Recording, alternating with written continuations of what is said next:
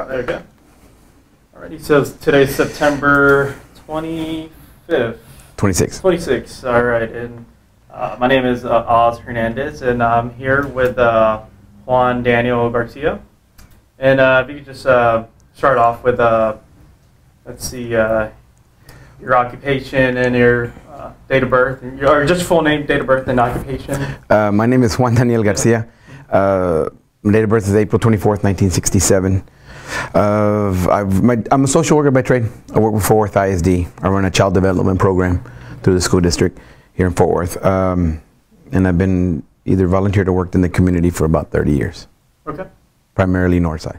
All right. Okay. So, um, with that in mind, um, let's see. Uh, I guess I'll start off by asking you, uh, where did your family come before uh, come to the U.S.? Um, my father, my father was born on the corner of Northside Drive and Calhoun Street. There's four trees that, that are there now. So if you drive through, uh, if you're coming from Main and you cross over towards the bridges, the empty lot on the left-hand side, my dad was born there on May 15, 1924. Uh, that side of Northside uh, was basically where Mexicanos lived, and we weren't allowed to cross the street. We had our own church. Uh, we had our own little community there. Um, my mother, my, my grand, my, gra- uh, my grandparents, which are my mom, mom and dad's, my, my mom and dad's dad, right? My mom and dad, no, my dad's mom and dad, I'm sorry. Uh, they passed away. My, my grandfather died when my father was three. My grandmother died when my dad was 17. Um, and he dropped out of school. That's him in the right hand side of the, that's my prop. Um, he, um, uh, if I'm correct, they came over from Pie- Piedras Negras. They came over, I'm thinking probably turn of the century, and uh, pretty much came to work in the, the uh, right off the railroad. They took the railroad, and I'm sure you're familiar with this. They would jump on the railroad, ride it down to the Swift, uh, Swift plant, and then ride it back. That was their transportation. So everybody pretty much lived on the other side of uh, the east side of Main Street, and that was their area. My mother was born in San Luis Potosí, uh, grew up in Monterrey, Mexico, Nuevo León. Uh, she came to visit my father back at no, she came to visit All Saints Catholic Church. I owe that I owe my existence to that church and the community involvement. My aunt um, Benigna Gomez, Sister Benigna Gomez, who was a Guadalupana, uh, which is a form of Catholic nuns, an order, uh, was brought here in the early 60s by two gentlemen, Mr. Martinez and Mr. Hernandez, uh, from San Antonio. Uh, if you're not familiar with All Saints, I'm, gonna, I'm just going to speak if that's okay. My uh, All Saints Catholic School, uh, All Saints Catholic Church now was a white church. White people went to that church. You couldn't cross Main. San Jose, which was across the street, across the across Main, basically behind and like one half a block to the right of where the Mercado is now on Main Street. It's called the Men's Club now. That used to be San Jose. That was the Brown Church. Um, my uh, when integration kind of came in, we were allowed to cross the street. Uh, exactly, that was sometime in the 40s, I think, late 30s. Uh, All Saints became integrated, and there was a large Latin, uh, Spanish-speaking population that needed nuns to help serve the religious or to serve them religiously. Uh, the Guadalupanas in San Antonio told them, yes, you, you can have a, a, a, a Spanish-speaking nun, but you have to come get her. So Mr. Martinez and Mr. Hernandez went down and picked my tia up from San Antonio and brought her down here. She, I think she was one of the first, if not the first, Spanish-speaking nun in Fort Worth. Probably for sure North Side. I don't know all of Fort Worth. I'm not real sure about that part. So one of the first. My mother came down early 60s, was thinking about becoming a nun, uh, and came to visit my aunt one summer. My father, who was uh, a great ball player in his time, uh, was playing baseball at night and working during the day. Uh, but his faith was very strong. That's what my parents, grandparents uh, instilled in him. And he would go help the Guadalupanas make the masa. For the tamales, the masa is the, the cornmeal that they use to mix together, and it's pretty thick, and you got to mix it with different spices and comino and chile and pretty much bacon fat or fat, uh, fat to loosen up and soften it to get that moist spread on the tamal. My father was a very big athletic man, so he could he could podía amasar la masa muy bien, and uh, he would do that. So in between, when he wasn't playing ball or, or working during the day, he came to do that in the evening. Well, he came in one evening, and my mother was here, and he uh, he's gone now.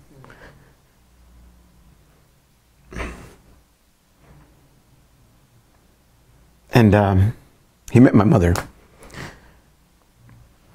My uh, godmother, who used to work at um, like a soda shop right off the corner of Chestnut and 25th Street. It's now going to be a Superior Torteria. It's right across from a grocery store. It used to be Hill's grocery store.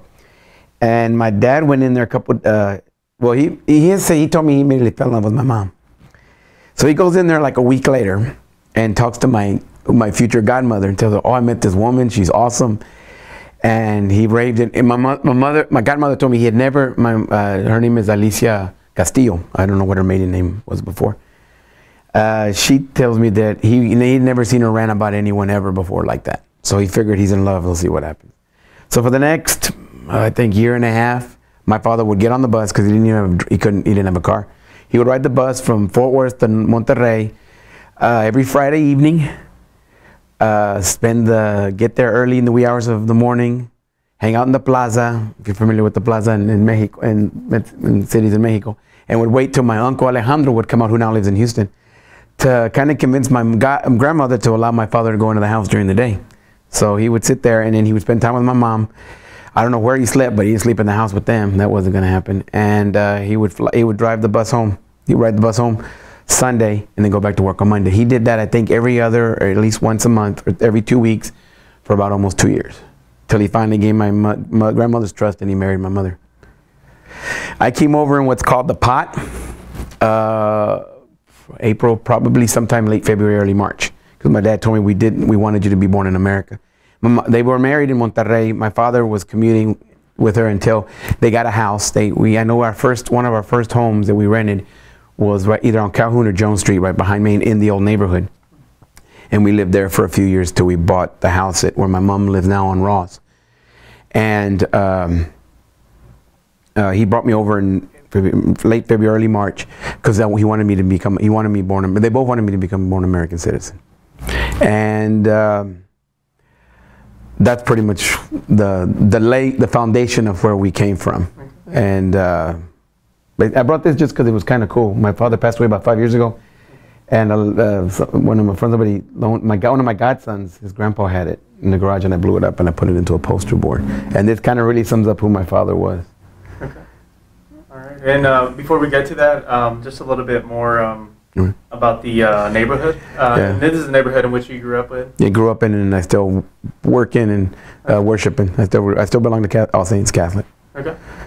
And it's in the uh, north side neighborhood. The Northside neighbor, All Saints is located off of uh, 20th Street and uh, it's on, it's, it's, it owns a whole block between Ellis and Houston on 20th Street, right across from Marine Park. Okay. Uh, it's probably one of the oldest Catholic churches. It has the old, one of the oldest Catholic school in Fort Worth, or one of the oldest, I should say. Um, in, in when it first was started by the Diocese of Fort Worth, it was the the Anglo Church, and then when uh, we were allowed to cross Main Street, that became integrated, and then that became the the neighborhood church for everyone. Okay. Now, how was the north side neighborhood when you were growing up? It was uh, it was quite it was quite split. I was born in 67. I remember 72, 73. I never went to public school.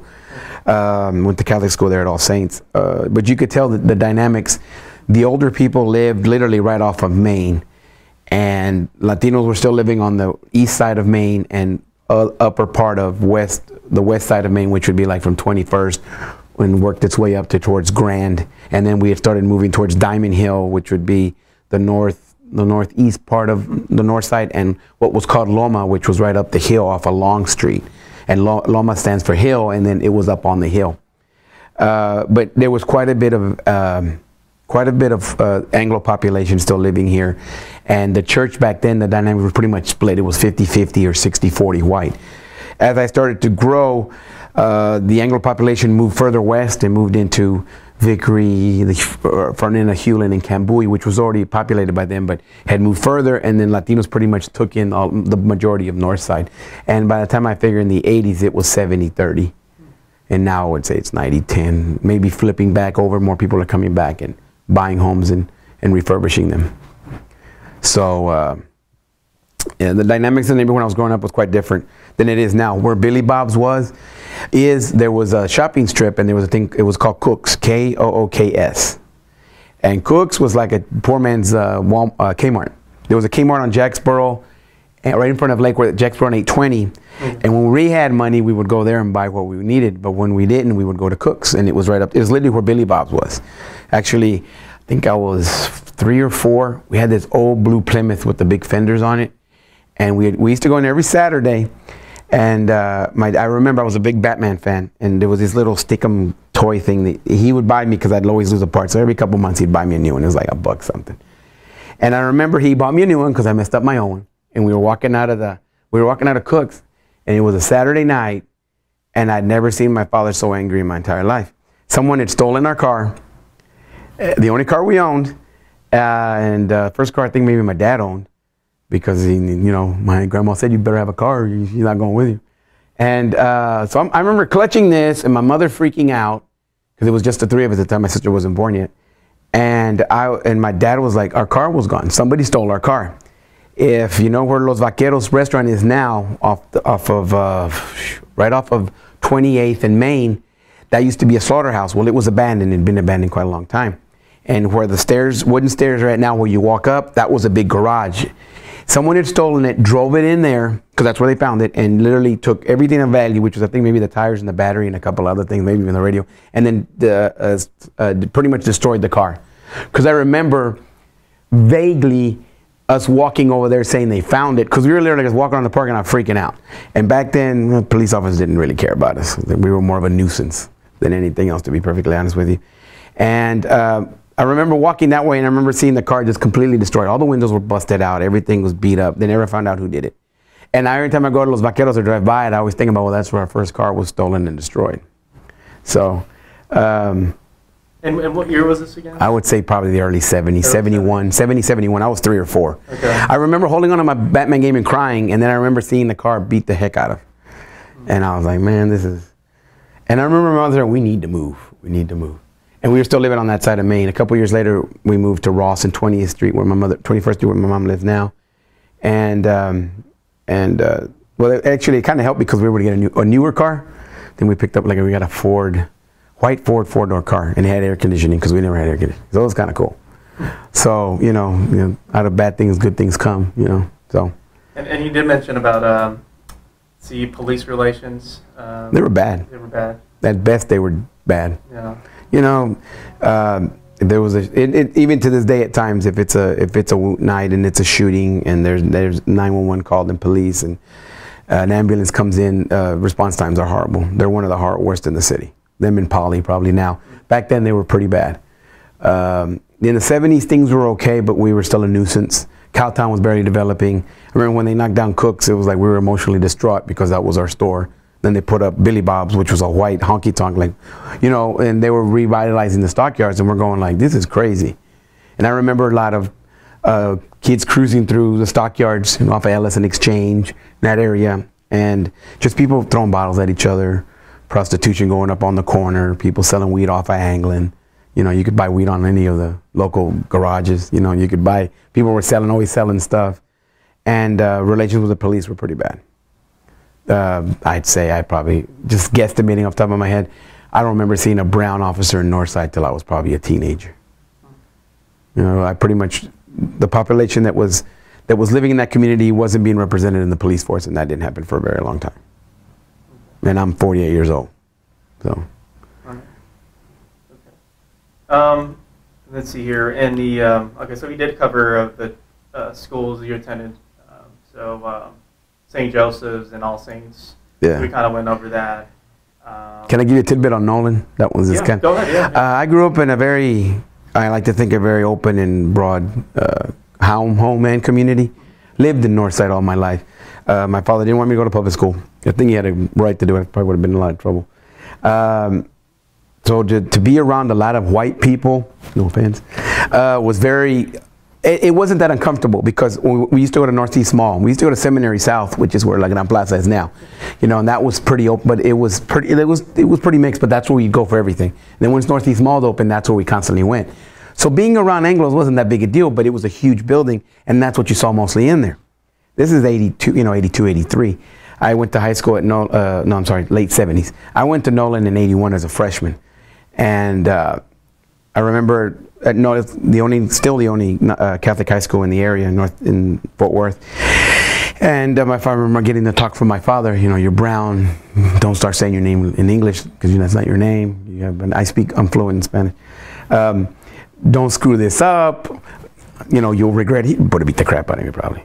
But I don't know if he would have, but he would have been upset. So I said, okay, got you, Dad. And, and you, you hear all these things about stories, and in our senior retreat, all these other Anglos saying, oh, I love Nolan, this and that, and my sister went, and my brother went, or I was the first one to go, and I was excited. They knew what to expect, and I did too, but for them, it was like a joyous time. For me, it was probably one of the most traumatic things that ever happened to me in high school.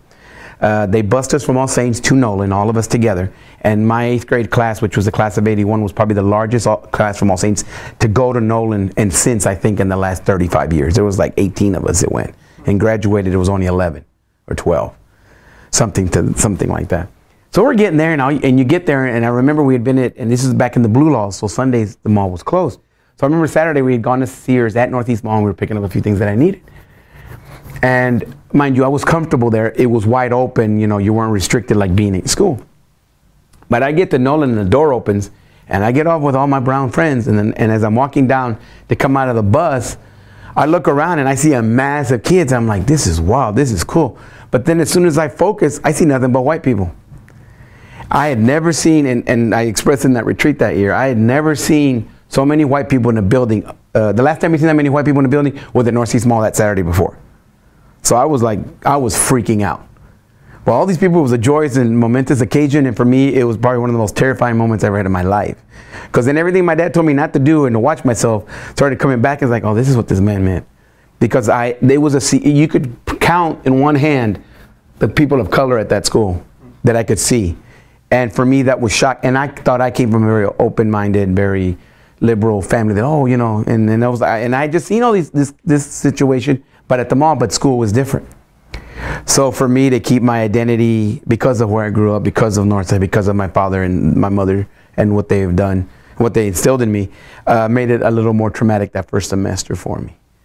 But you know, and, and, you take things for like that for granted that you know you're in this this population with all your own people of color, but then when you go to another area, you've got to remember who you are and where you come from, and there's nothing wrong with becoming and, and uh, evolving into something else. Uh, or um, I can't think of the term. I'll bring it up to you. I'll bring it up in a minute. But uh, uh it's not so much about assimilation. It's more is about just kind of like uh, accepting what's there and making it your own, but not forgetting who you are and where you come from. So that first couple years, if it wasn't for my father and what he instilled, and my mother, what they instilled in me, I don't think I would have made it. Because a lot of people left because of that, or that was their excuse to leave. Now, Nolan, uh, where, where was that located? Nolan's off of, it's still there. It's off of Bridge Street, off of 30 in Oakland. It's in the east side of Fort Worth. But it's pretty segregated. I mean, not segregated, but it's in its own entity and its own side. And then even there, the homes around it were very, were very upscale, very uh, upper middle class. So uh, it was, uh, it was quite a culture shock, you know, for me to wear. To wear a uniform was one thing. Everybody wore it at All Saints Catholic, but we were all brown. But here, you could wear a uniform, but I was wearing t I was wearing pull, uh, uh, you know, uh, uh Oxfords and stuff that were from like Montgomery Wards and Sears, and people were pullovers had polo and all this other stuff on it. So it's like then all of a sudden you start seeing there was a difference.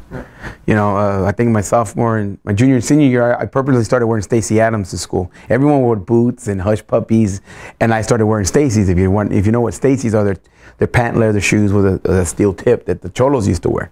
So I chose to wear that as, you know, because you really couldn't express yourself. And that was one of the few ways I could.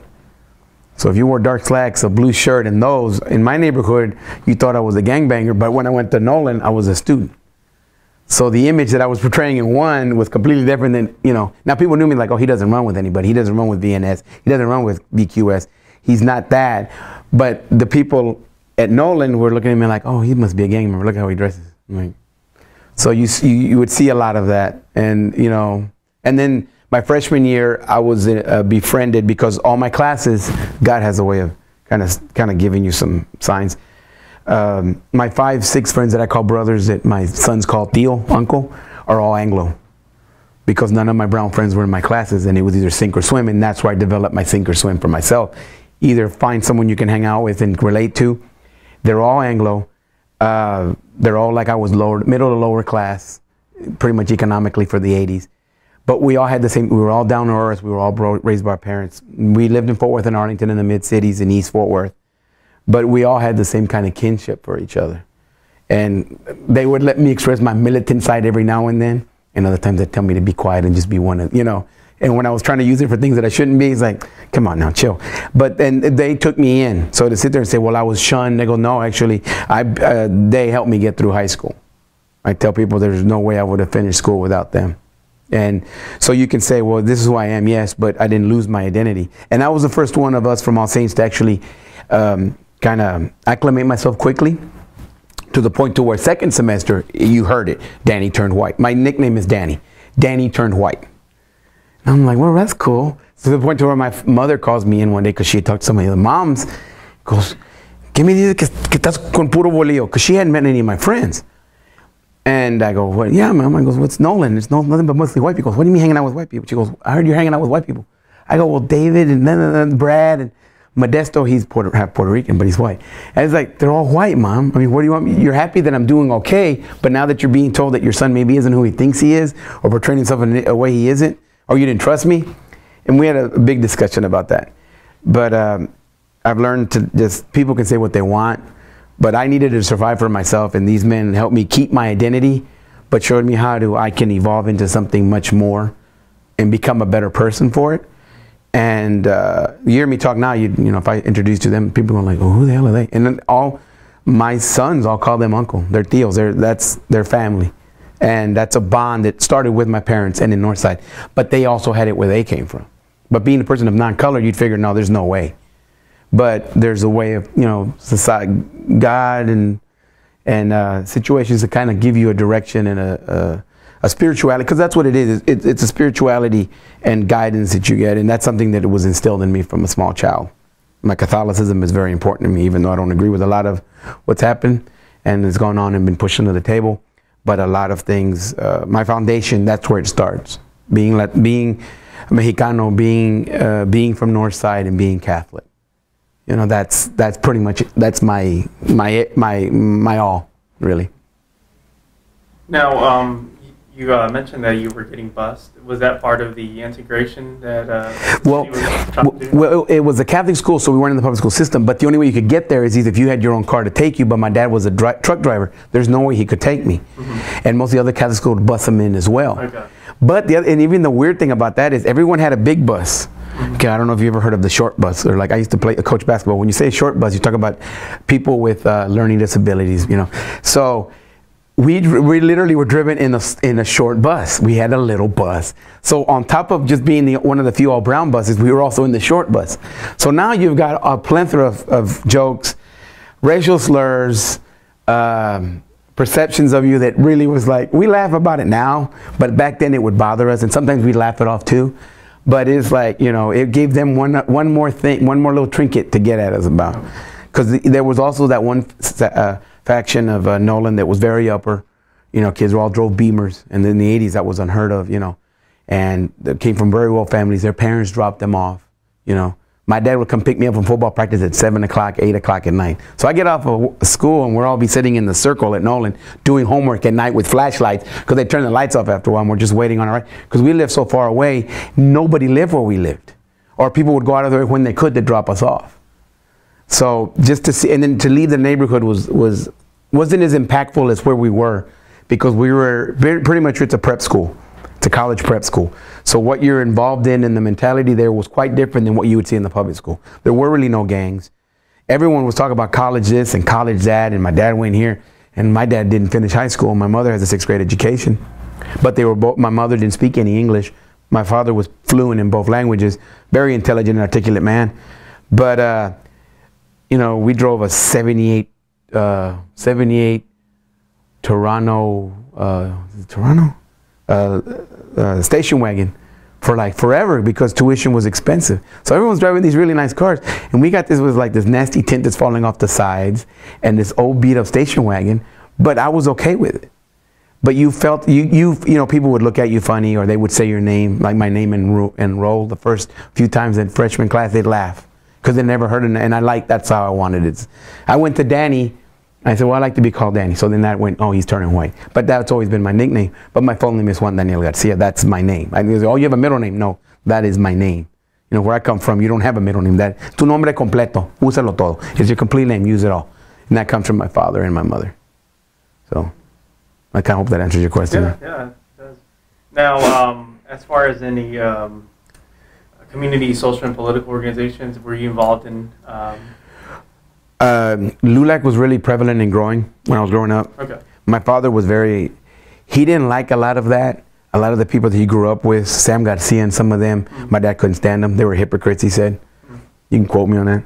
Uh, uh, he said, you, uh, it goes back to the old saying, there's, um, Jack Lemmon is a uh, older actor, uh, just passed away. He was part of the Odd Couple and a few other things. You look him up. He had a saying, and I just was introduced to this. It's like uh, he's mentored other actors, and they would say, you know, when you get to that point where you're at on that elevator, make sure you send that elevator back down for everybody else. And my father was by the people that went got to that point never sent ele- elevator back down, or sent came down with it and picked certain peoples and took them with them.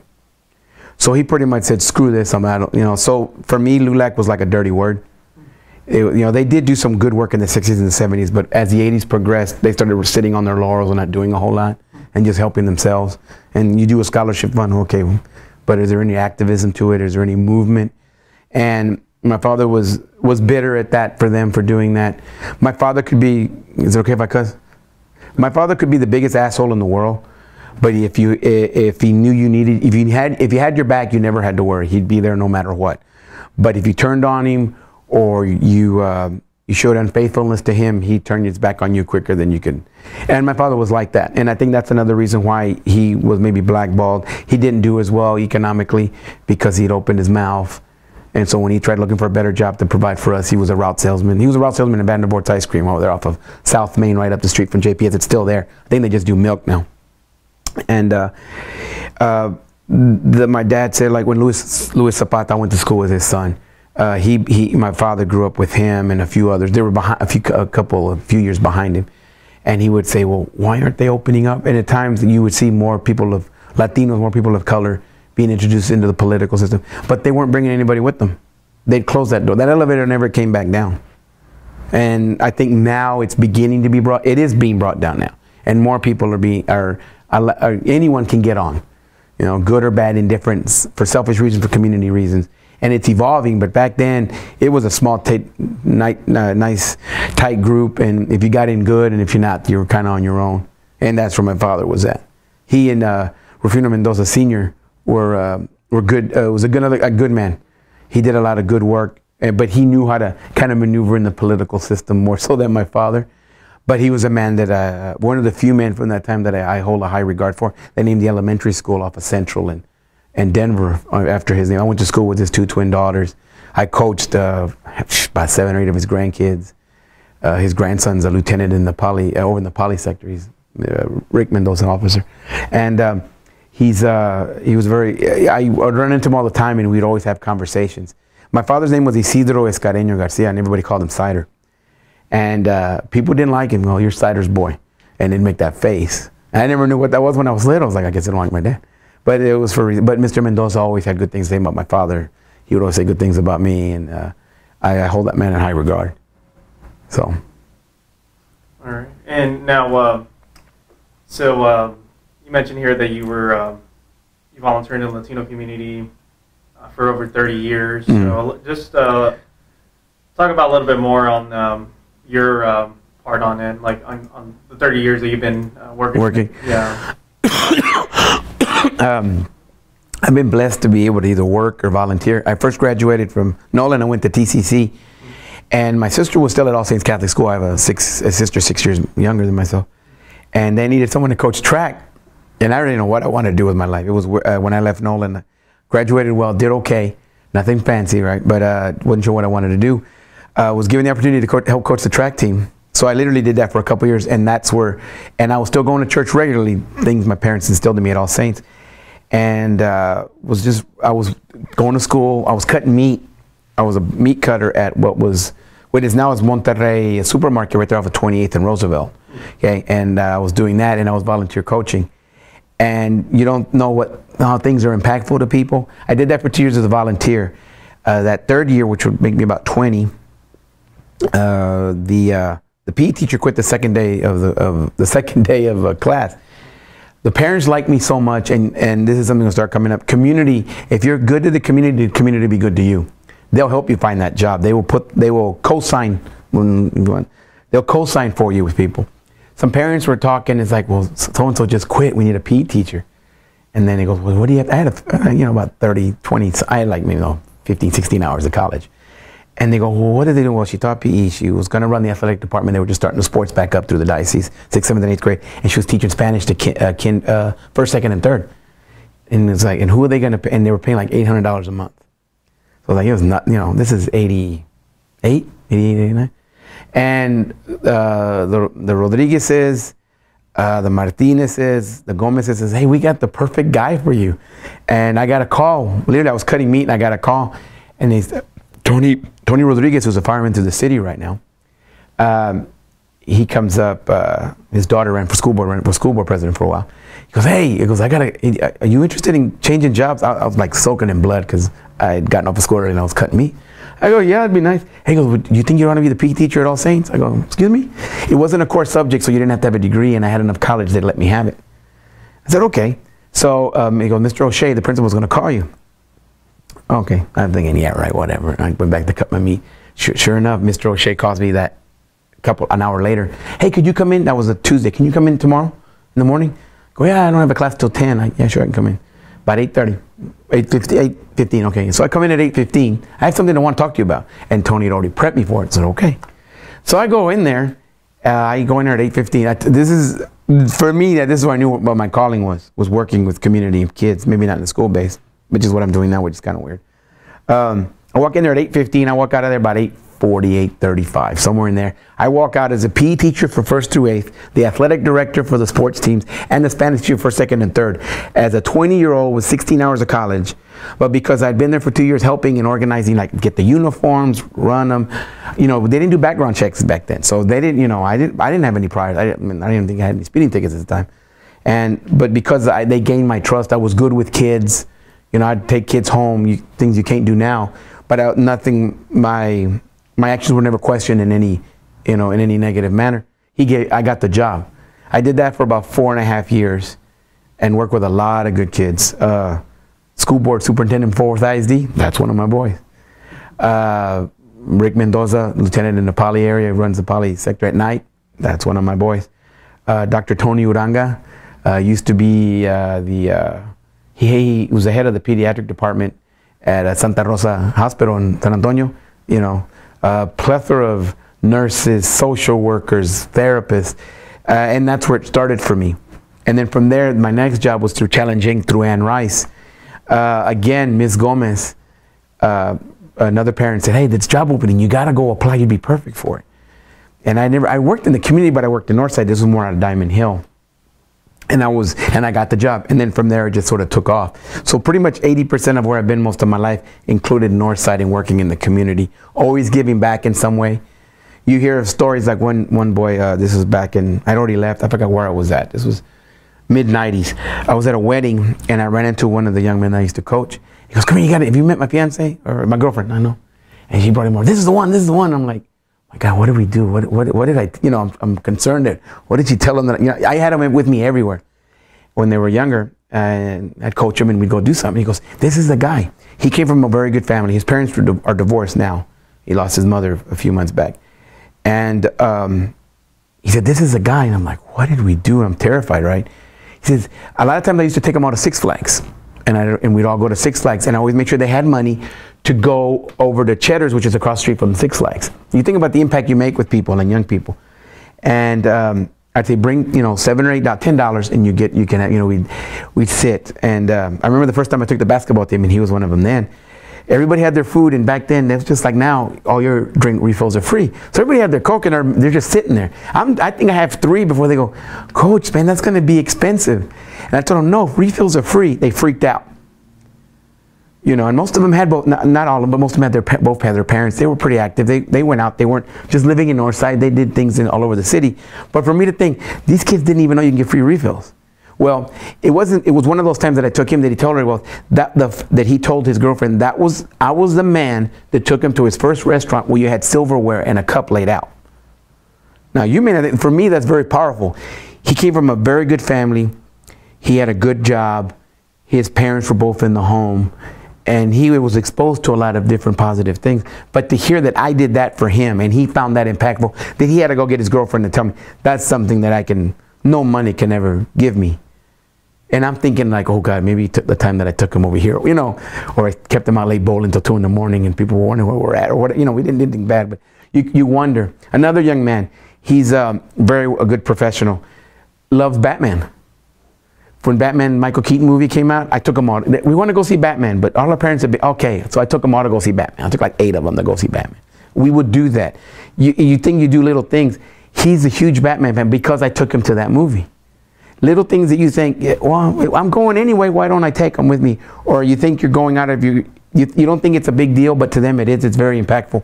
So one thing I've learned over the last 30 years, nothing that you do or work with people um, is, is insignificant of any type because you don't know what you're doing for them. An act of kindness not just from a person of, of, of, your own ethnicity, but a person who's just there for you to help. That you don't really have to do that, but you do it because you want to, or because it's just the right thing to do, or because why not? It's it's impactful in ways you never know. When you have grown men and women telling you stories to their now they're to their kids because I'm 48. Now I'm, I'm, hearing their kids telling their kids all this and that. And I've coached some of their kids and like, well, does he still yell? Yeah, sometimes he yells just like he used to and things of that nature. But yeah, the little things are impactful in the community. And I don't think we had enough of that. We had people who were politically savvy and active, but they just didn't give back. We still have people now that do that. And that pretty much disgusts me because they say, oh, I'm here. No, you're not. You're here for yourself. I'd rather just you tell the truth and then move on and let the rest of us do our work that we got to do. Because I still do that. I still work. I'm still I'm still a youth minister at Catholic All Saints Catholic. Um, we still my kids are in confirmation class now. Uh, I still coach the softball team. We won uh, we won first place in the Diocesan softball tournament uh, last time they All Saints won that 21 years ago, I coached that team. I mean, you know, there's, uh, I, I, try to, and I try to relate to them the history. I try to bring kids back to tell them stories, and you know, uh, um, I'll, use Officer Mendoza. He was on that team. He was also the DH on the '94 team that won state at Heights. He went five for five in state in the state championship, tied a state record. Is still a state record to this day. He was my first baseman on that team. So I had him come back and talk to him a week before we left because I think I thought we had a shot at winning it. As it's been 21 years, Rick, since we won this thing, I want you to come talk to him. And by the way, bring your state medal. And in the end, he couldn't come talk to him, but uh, he's going to come by and see him later. But it's, it's about reconnecting with the kids and what you do now. And it's not as impactful because they really are, they are more diverse, but they don't think about things that have happened in the past. You know, we put the trophy in the trophy case, then I show them all these other eight or nine they were won in the mid, early 90s by all these people that are grown adults that are as old or older than their parents. And they go, well, I never knew that we don't teach enough. The things I know that I've told you about because I sat with my father, or around the time my father was passing away, people shared things with me, or I picked my father's brain, or we would sit there and watch the Ranger game. Baseball was one of our big loves. So for us, it was a good way of just bonding, you know, pitch counts, you know, uh, hit and run situation, whatever, right? He was lined up wrong, or that's a great catch. My father would always, my dad was a great baseball athlete. People have told me, I never saw any of it. That, you know, he's, oh, hell, the reason he made a fabulous catch is because he read the damn ball wrong and he took off, Like, you know. But uh, people would say your dad was being critical. Yes, but my dad was that good that he knew what they did or didn't do right. But people didn't see that in my father. They just saw an older man who was either bitter because he never got to play in the, in the major leagues. He played for a team called the Aztecas and the Apaches after it evolved. They had a few of those that went to the major leagues to play with the Brooklyn Dodgers and a few other teams. He never got to go, and they said he was one of the more talented ones. But I think his attitude and his his uh, brazen uh, uh, pers- uh, brazen personality probably put him in a bad spot. So, sorry, I'm rambling. No, that's fine. No, um, and uh, let's see. So, uh, just to get a, like a time period um, when you started off? Um, oh, late late uh, 80s. I started like 88, 89. Okay. Uh, taught at All Saints till about 92. Okay. Then the did the community. It was a drug and alcohol prevention program from 92 to about 93. Then I was the original coordinator for what's called the Coming Up program, which is a gang intervention program to the Boys Club. Actually, Bob Terrell, the city manager at the time, goes, "This job would be perfect for you. Again, community and people knowing how good at what you do." And said, "You need to go take this job. It'd be perfect for you." So a guy that lived in the hood, in the barrio, but went to Catholic school all his life, was going to work with gang members. Um, uh, when we first started Northside, and it's still running to this day, uh, we put we put it on a good foot and foundation. I left two years later, uh, but uh, that kind of showed me how you it, kids are kids, and if you really help them, and some kids are in better situation than others, and if you can redirect them, you'll be surprised. That was back during the um, Dangerous Minds movie and all that mentality and the, and the you know, uh, NWA and all that, all the uh, gangster rap and, you know, gang uh, 76106, which is the north side area, which is 164 area, 76164. We had the highest crime and gang activity in the country. It was bad. You know, and it was mostly, you know, you had, you know, when I was growing up, there was two or three gangs. Uh, uh, then I think at one time I, I had 10 to 11 different gangs come in into my center at night because it was late, late night programming to work with. So that was kind of different. And I evolved and I did a few other things after that. And but my my community work is always in the 90s. You could see quite a bit of there was money being pumped into communities for gang. Gang was a thing and drugs, and a lot of it was north side, south side, poly, east side. So you would see a lot of you know people coming in. But again, people uh, you're bringing an, an organization or a group or a program, but it wasn't reflective of the population you're trying to work with. We're not saying all of it, but some of it, or relate in some way. A lot of those programs either failed or just did their funding for four years or five years and moved on because there wasn't any connection there, because there wasn't any real true uh, connection or, or uh, wanting to better themselves. It was more of, okay, I'm gonna get paid pretty good for a couple years, then I can use this on my resume and move to something else. And the community to this day has built up a tolerance of, ah, you're here, four years you'll be gone. And the weird thing with me is I have a, I, I oversee 12 social workers. We do child development and it's called the Texas Home Visitation Program. And I've been, and we work all over Fort ISD in the city's district limits. And I tell them, go see so and so, go see so and so. And they go, oh, they know you, and so and so knows you, and this and that. And it, all that comes from the fact that I've been here for such a long time, but I've really been fair and honest, and I've done what I think. I've screwed up sometimes, but never for personal reasons. And it was never for me to better myself. Maybe that's why I, for a few years there, I, uh, uh, financially I didn't do as well, but I really did help a lot of people. And to the point to where I'm at now, all of that I helped um, helps me to get into communities that are, or situations that people wouldn't get into just because, oh, you're the guy that used to do car seats for the city, or you're the guy that helped my brother with his community service hours, or you're the guy from the like like the young lady in the front. Oh, you're with Young Life from All Saints. Yeah, you know, if they see you in in in the neighborhood and doing things, and you take ownership for yourself, they're more much more willing to share with you or to work with you or to be accept what you're trying to offer them. That isn't just there for a couple of years or you know you're there to get that check and then you're leaving and a lot of people in the community uh, seem to think that because of what's happened over the last 10 15 years all right um, and um, as far as like uh, black and brown relations uh, growing up um, was there um, how, how, would, how would you describe that at times yeah. we were both in the same boat mm-hmm.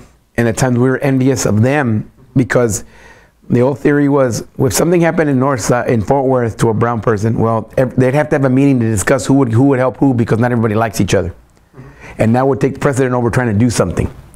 Um, I'll give you an example. When Bob Terrell was still city manager, Bob and I still have this discussion sometimes.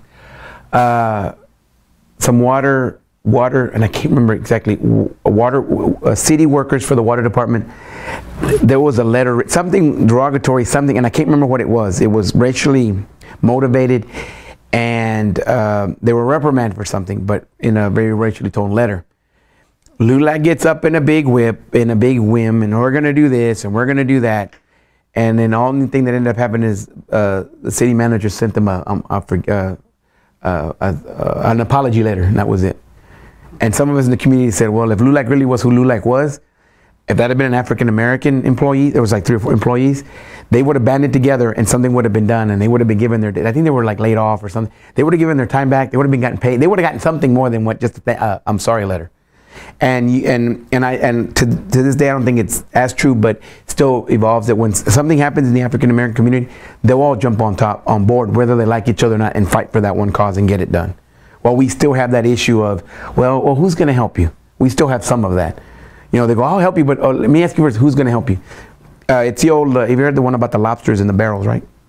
Yeah. yeah. You know, you have, guy walks in, there's three barrels, white barrel, black barrel, uh, uh Mexican barrel. The white and, um, and the black barrel, they're covered. And the guy, and the, the Mexicano barrel is empty, or Latino barrel is, uh, tops off. He goes, why is that? He goes, well, if we open the white or the black, they all get out and they'll climb over each other and they'll help each other get out. On the Latino one, you don't have to worry about it. As soon as one comes to the top, one of the other one grabs them and pulls them back down. And that was a big thing because Fort Worth is considered a good old boy town. and to a certain extent, that still happens politically, community wise, everything. But there's more of a movement to get away from that. You saw a lot of that in the 90s with monies and funding, and everyone would jump in. And then as soon as the media showed up, forget it. Everybody, their mother wanted to be in there, or we did it, or whatever. Or, or you know, they would try to literally badmouth each other in front of everyone. It's like, how about just everybody sharing the pie, which is what we're, you know, a lot of us, I think, in the community now want to do. There's a, there's big, there's enough here for everyone to get their portion, their, you know, their uh, PR moment why not just share it? And, and that's, I think we're headed that way. I think we should be further along than what we are. But um, hopefully, with things like this, this will maybe, because a lot of people don't know that you couldn't cross Main Street. You know, my dad used to tell me stories of they used to walk up Marine Park towards Elder, which is now North, which is Elder, JP Elder Middle School, which is used to be Northside. There would be people, there would be white people trying to pick fights with you, not to let you go to school. And my dad, if he was in a bad mood, would obligate. He had no problem with that. You know, and it's like all we want to do is go get an education. Why do you have to stand in our way? We don't cross the street, and that was the other thing. They, you know, they'd cross the street and mess with each other, and then when that tide turned and we were able to, it became very uh, not, not, turbulent, but very, a lot of tension, and people instead of staying and meeting just left. You know, and I think that's what we have more of now. There's more of at least there needs to be more conversation and more sharing of where I am, who I am, you know, and and and you know the, there's that section of well i speak spanish you don't. Well i'm better. Well not really because no no not no not just that no you're not. But i was brought up differently than you are you know everybody's different that's okay but we don't and, and that, that still happens now. We don't do enough to see our differences and accept them. Instead of just saying oh you're that so you stay over there. We get mad because we get segregated we segregate ourselves at times when we really shouldn't. All right. and um, just one last question here, uh, just regarding the leaders in the Latino community that you uh, kind of looked looked up to. You mentioned Rufino Mendoza. And, yeah, um, Mr. Zapata. He was a good man. He'd always he and I always, his son and I played football at Nolan together, and we he, even to the, even to a few years ago, we'd always. I'd always try to, whenever I run into him, his health started declining. We'd just laugh, or I'd ask him if he knew some stuff about my dad, and, and then he'd share and he'd ramble. I tell people, go sit with an older person. Just let them, give them something and then let them go and then just listen. Because you'll be surprised how you know this family. I found out uh, towards a couple years before my dad passed away that the Mercados that lived on on the other side of uh, on the other side of uh, Main with my dad, their grandmother was my father's godmother. I never knew that, and I was like, because Mr. Mercado, uh, Jake Mercado, not Jake Mercado. Um, Benito Mercado uh, told me, he goes, yeah, he goes, we were sitting there one day at a basketball game and we are just sitting there talking. And he goes, have you seen your dad? And my dad passed away. He goes, oh, no, he's, yeah, he's at the house. Blah, blah, blah. I haven't talked to him in a couple days. And then he goes, hey, you know that my, my grandparents, my abuelitos, were his godparents? And I was like, really? I mean, just little things that you're connected to someone. Like, really? I never knew that. And the weird thing is, his youngest, his, uh, he has two daughters. His youngest daughter and her husband are my oldest son's godparents there's so much connection at times that yeah. you know that, that people say, "Oh, you're all Latinos are related." Yeah, we are, in more ways than one. You know, but it's just the community and and what we've tried to foster. I think, and some of that is going away just because now we're moving into the suburbs and and north side. You know, back then north side or south side, oh, Poly, that well, that's bad areas. Not really, not anymore. There's still some pockets, you know, but not like it used to be. And that's because white people are taking ownership or they're coming back. So. Alrighty, I think this uh, wraps it up. Okay. So, uh, kind of went a little bit over the time, but no, it's okay. okay. Alrighty, well, thanks a lot for your time. Thank you. Uh, oh, and then uh, the uh, so you have that. Um, we have an our archivist down, archivist downstairs. Um, that's going to be um, with the city of Fort Worth, uh, the uh, library, mm-hmm. um, and he is. Um, I'm not entirely sure. Um,